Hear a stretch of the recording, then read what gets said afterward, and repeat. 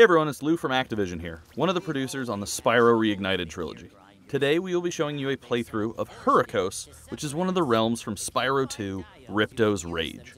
Now this is part of the homeworld Summer Forest. Hurricos is constantly being hit by giant thunderstorms, which works out well for the Electrolls who inhabit it.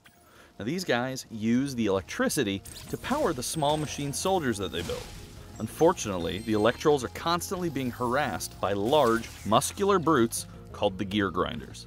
These Gear Grinders love sabotaging the machines in Hurricos to cause trouble for the Electrolls and Spyro.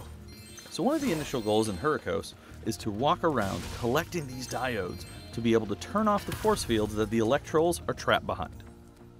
Hurricos specifically is a great example of how the team at Toys for Bob has remained faithful to the original game's look and feel while enhancing the designs with additional details. Now we've got awesome lighting and visual effects and all these things that we're able to achieve on current gen consoles that just make this look amazing. The key gameplay devices in the level, the diodes and the force fields, all emit dynamic lighting, which adds a sense of realism and immersion, making the players feel the urgency of needing to turn off these force fields. Some of the characters in the Reignited trilogy required a bit more inspiration and reinterpretation because of what was originally there, but the characters in Hurricos, the Electrolls, Gear Grinders, and their robots, are all really faithful to their original designs.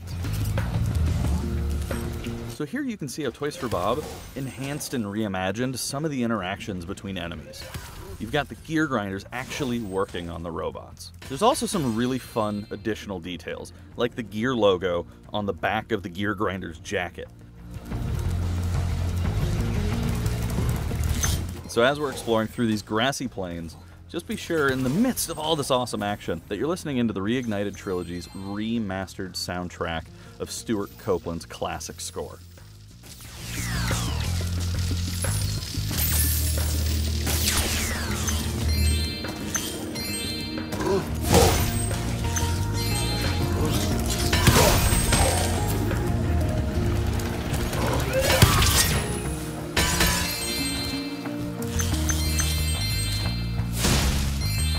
Although some fans may be familiar with Hurricos from the original games, the additional level of detail that Toys for Bob has added really adds to a sense of discovery and this feeling of being in a new world for the Reignited trilogy.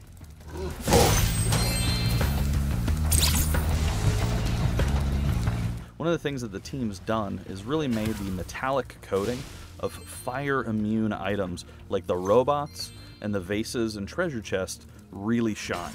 So it's really easy to see when you need to use fire and when you need to charge.